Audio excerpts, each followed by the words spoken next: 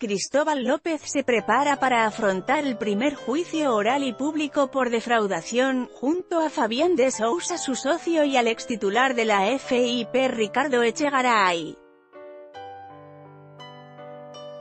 En ese juicio también se tratará la demanda por daños y perjuicios que el Estado le realizó al empresario K por haber generado una deuda multimillonaria.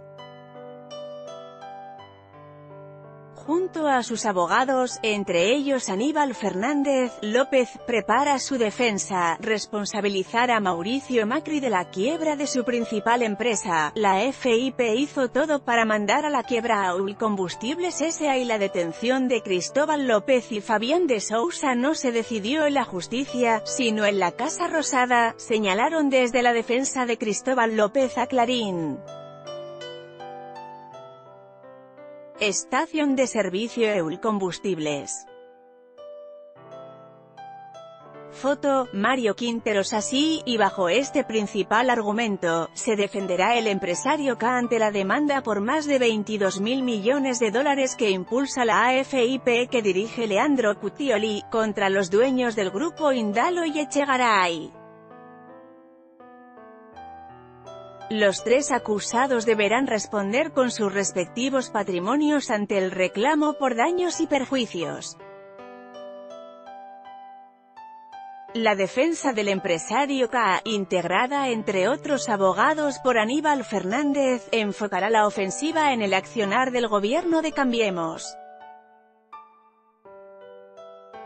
El último componente fue la evaluación que los interventores judiciales realizaron, en el marco de la quiebra, sobre la petrolera Oil Combustibles. Según el informe oficial, se le otorgó un valor de mercado de 42,5 millones de dólares, cifra con la que disiente Cristóbal López.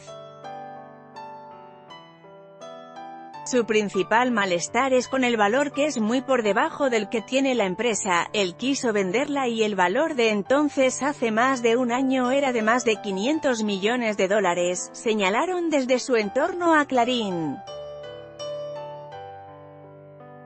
Mira también la AFIP suspendió sin goce de sueldo a Ricardo Echegaray en la aduana, ante el juez Julián Ercolini, que procesó al empresario K y lo detuvo, se presentó una presentación con cuatro definiciones de evaluaciones de especialistas, donde se determinó que el puerto de Eul valía 115 millones.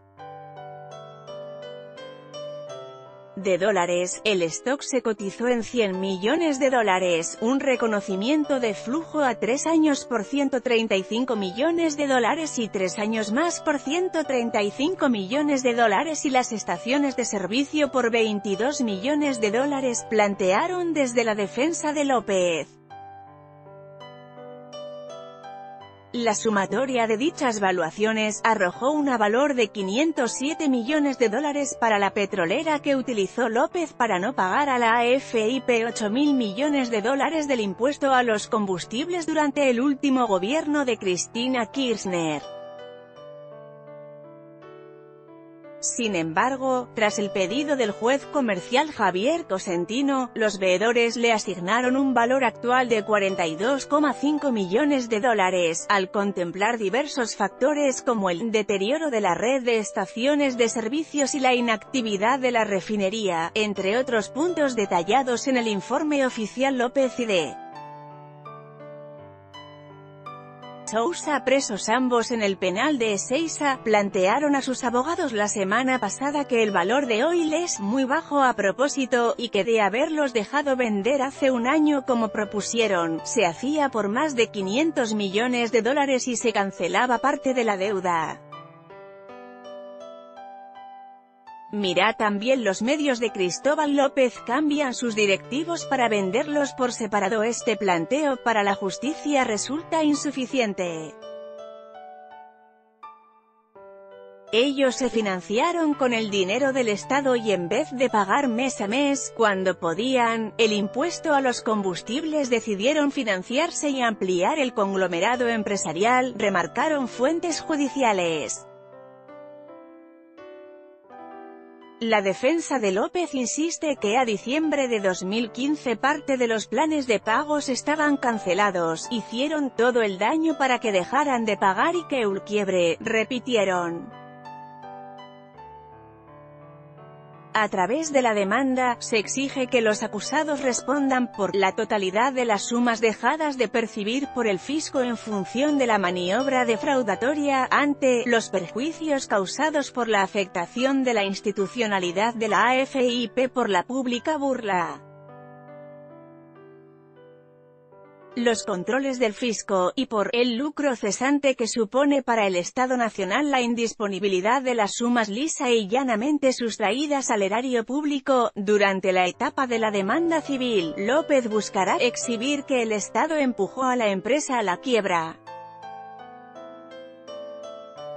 Mientras, la AFIP se prepara para reclamarle más de 22 mil millones de pesos.